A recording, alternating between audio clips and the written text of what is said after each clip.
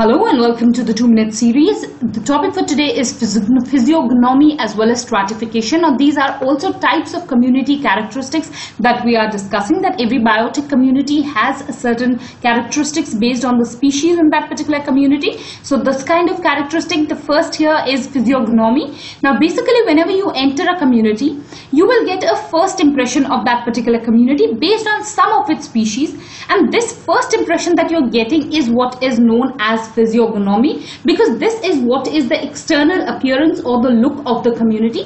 Largely this look is what comes from plant species in that particular community. For example, if you enter a forest, then huge trees will be present. So that is the physiognomy of that particular community compared to another community where you are entering and there that might be a grassland. So in that you might get an appearance that is different from any forest. So this is also because of the species that is there. Largely the dominant species play a major role in deciding the physiognomy of a community but that might not always be the case also. So that is what is characteristic physiognomy.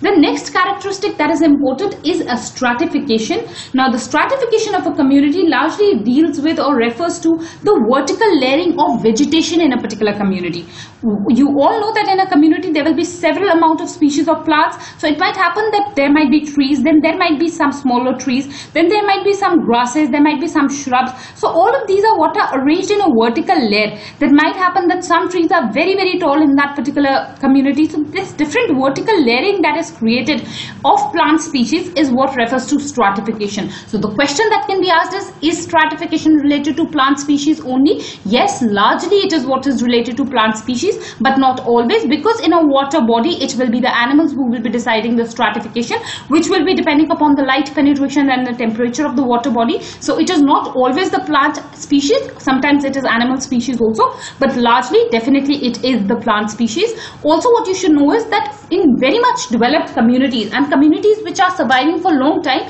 the stratification is what is very very high. They will have multiple layers of plant life. So this is what reflects a deep and old old community community. For example, in the Amazons, the kind of forestation is such that there are a multiple number of layers, so there is a deeper stratification. So that's about physiognomy and stratification as community characteristics. And that's about our discussion today. Thank you all for watching the video.